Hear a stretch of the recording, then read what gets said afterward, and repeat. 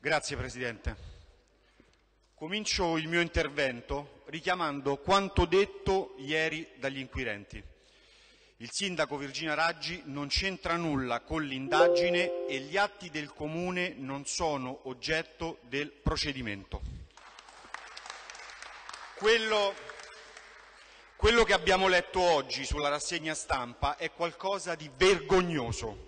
Non c'è neanche una riga su ciò che sta accadendo alla Regione, alla Regione, neanche una riga sui giornali.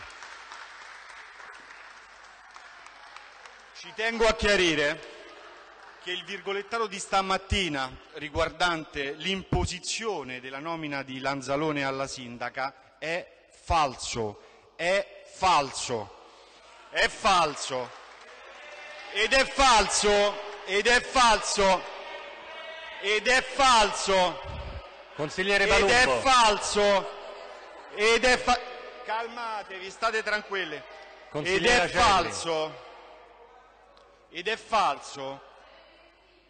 Ed è falso come ha, come ha avuto modo di dichiarare agli organi di stampa la sindaca e come ha comunicato a tutti voi capigruppo poco fa in sala delle bandiere. Per, quan- per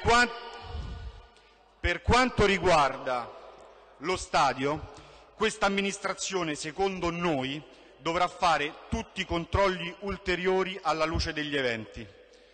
Noi confidiamo nel lavoro della magistratura, il Movimento 5 Stelle è stato, è e sarà sempre dalla parte della legalità. Chi ha sbagliato, chi ha sbagliato dovrà pagare. Noi andiamo avanti a testa alta.